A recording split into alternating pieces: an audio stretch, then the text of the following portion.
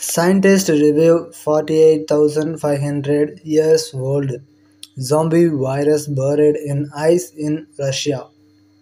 Scientists have received a 48,500 years old zombie virus that was locked beneath the ice to date. This has sparked fear of another pandemic as they have the potential of being infectious. Climate change due to global warming is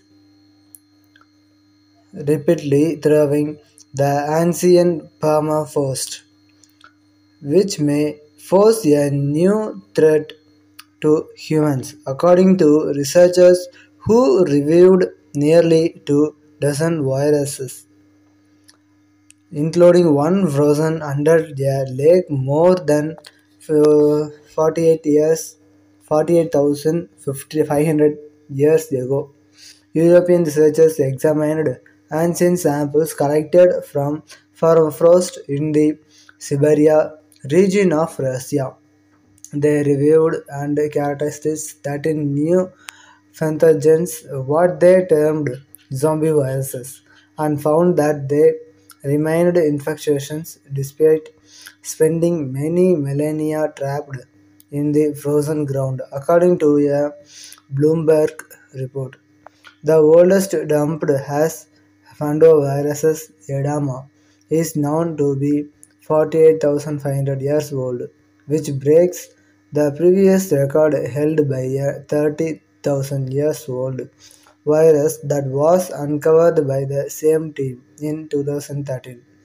Scientists have long warned that the thawing of permafrost due to atmospheric warming will worsen climate change by freeing previously trapped greenhouse gases like methane, but its effect of on dormant pathogens is less well understood.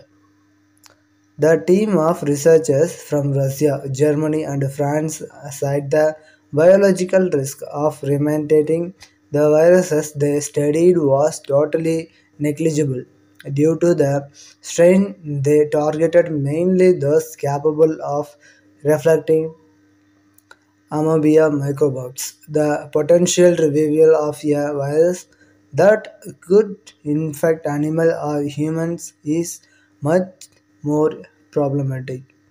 They cite warning that their work can be extrapolated to show the danger is real. It is thus like that ancient pharmacist will release the unknown virus upon thawing. They wrote in an article posted to the preprint repository bioRxiv that has not yet been peer reviewed that the Bloomberg report added. Thank you for watching.